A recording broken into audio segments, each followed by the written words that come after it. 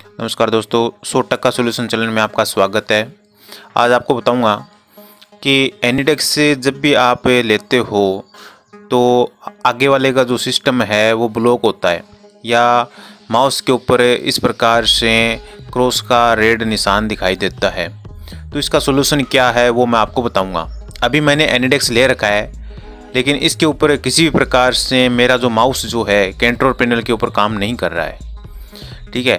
इसलिए अभी जो कंट्रोल पैनल यहाँ पे खुल जाएगा। लेकिन यहाँ पे आप अभी इंस्टॉल अनइंस्टॉल पे जाओगे ना तो वहाँ पे किसी प्रकार से कुछ भी काम है, नहीं करेगा। तो इसलिए इसका जो समाधान है, वो कैसे करना है, वो मैं आपको इस वीडियो में बताने वाला हूँ। सबसे पहले आपको क्या करना है कि अगले से टीम व्यूवर डाउनलोड करवाना है। तो मैंने ये टीम व्यूवर ले रखा है। अब मैं टीम व्यूवर की स्क्रीन के ऊपर आ चुका हूँ। तो टीम व्यूवर के ऊपर ये जो होता है, ओपन होता है माउस से, ये ब्लॉक नहीं होता। तो इसमें सबसे पहले कंट्रोल पैनल खोलना है और यहाँ कैटेगरी के अंदर जाना है और लार्ज आइकन पे क्लिक करना है, ठीक है? इस पर क्लिक करने के बाद में आपको क्या करना है, नीचे चलना है और यहाँ पे यूज़र अकाउंट दिया होगा, इस पर क्लिक करना है। ठीक है?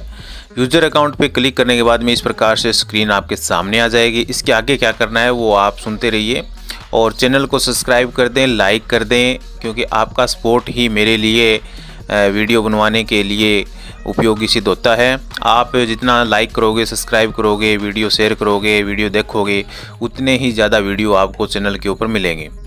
Change user account control settings दे रखा है। इसके ऊपर क्लिक करना है। इसके ऊपर क्लिक करने के बाद में ये ऊपर होगा। इसको पकड़ करके नीचे खींचना है। ठीक है? और ओके पे क्लिक करना है। जितना कह रहा हूँ उतना ही काम करना है, इससे ज़्यादा नहीं करना है। ओके पे क्लिक करना है।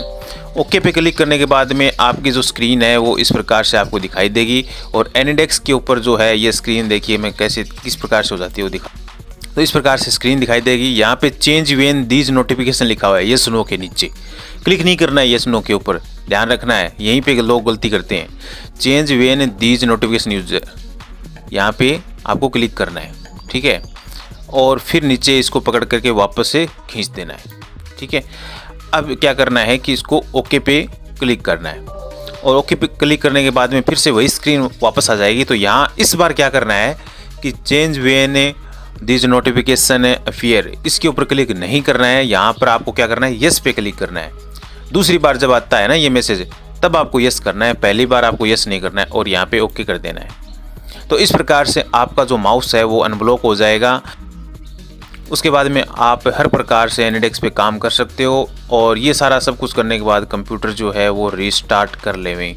रिस्टार्ट होने के बाद ही वो चीज़ सक्रिय होगी, अन्यथा आप डायरेक्ट काम करोगे तो वो सपोर्ट नहीं करेगा। इसलिए कंप्यूटर को रिस्टार्ट करना बहुत ज़रूरी है। सूचना अच्छी लगी तो चैनल को सब्सक्राइब ज़रूर करें, लाइक करें और ये वीडियो ज़्यादा से ज़्यादा शेयर करें। धन्यवाद। Thank you.